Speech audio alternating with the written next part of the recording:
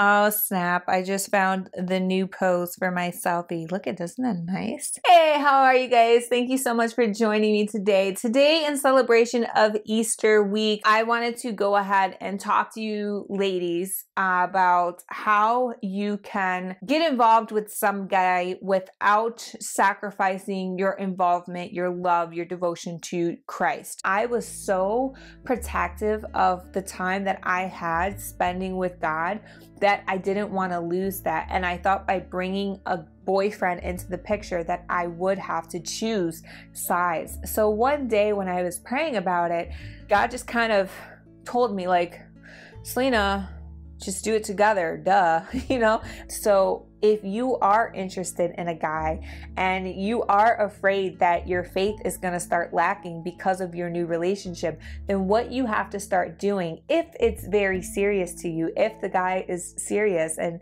wants to move forward in the relationship, you start to pray with this guy. You start to worship with this guy. You go to church events. You do ministry work with this guy. And not only is it going to show you where he stands and how committed he is to his walk with Christ, but it's going to show you that the two, you and him, are going to be knitting your hearts to become one. So, doing this is kind of a good step in your relationship because it also shows you how serious this person is and how serious your relationship is. But at the same time, you're not losing any ground with your walk with Christ. You're only making it better by intertwining yourself with who could be the one God sent.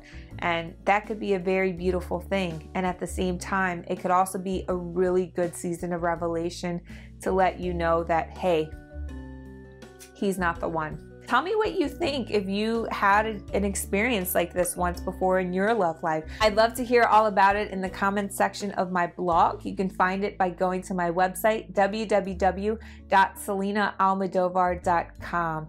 Thank you so much for watching. I hope you guys have a wonderful weekend. Easter is like my favorite holiday. So I hope you guys have a wonderful time and I can't wait to see you guys again soon. Take care.